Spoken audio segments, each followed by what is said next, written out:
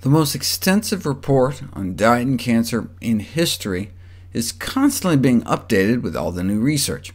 In their update on colorectal cancer a few years ago, they implicated various meats, including processed meat, as a convincing cause of colorectal cancer, their highest level of evidence, confirmed as a carcinogen by the World Health Organization more recently, effectively meaning beyond a reasonable doubt.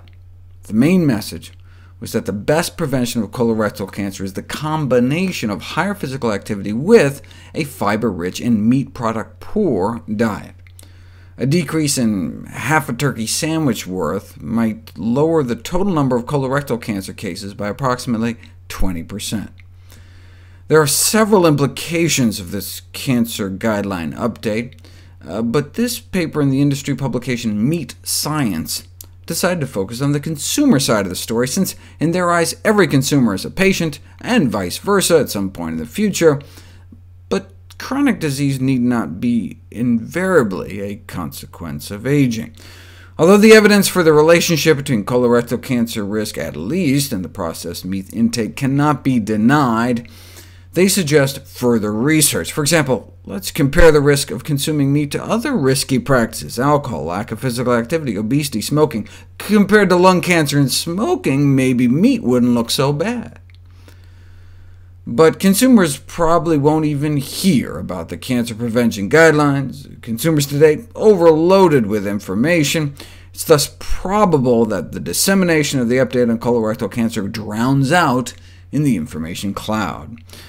And even if the consumers do see it, the meat industry doesn't think they'll much care. For consumers in the Western world, the role of healthfulness, although important, is not close to taste satisfaction in shaping their final choice of meat and meat products.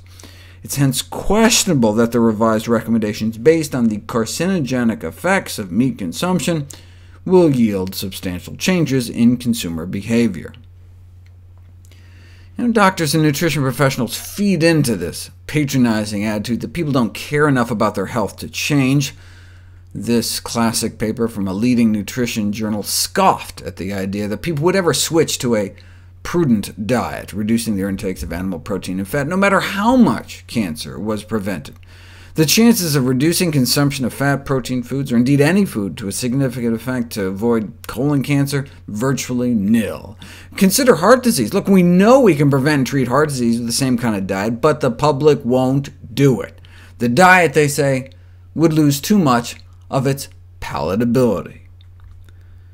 The great palatability of ham, in other words, largely outweighs other considerations.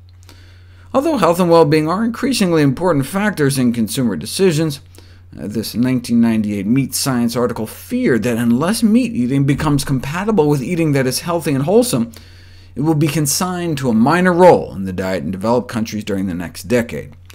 Uh, their prediction didn't quite pan out. Here's meat consumption per person over the last 30 years.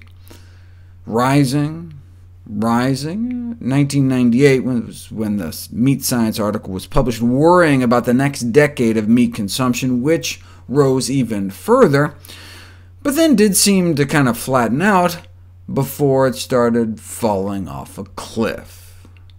Meat consumption down about 10% in recent years. Millions of Americans are cutting down on meat. So don't tell me people aren't willing to change their diets, yet we continue to get diluted guidelines and dietary recommendations because authorities are asking themselves what dietary changes could be acceptable to the public, rather than just telling us what the best available science says, and letting us make up our own minds about the cancer risk while feeding ourselves and our families.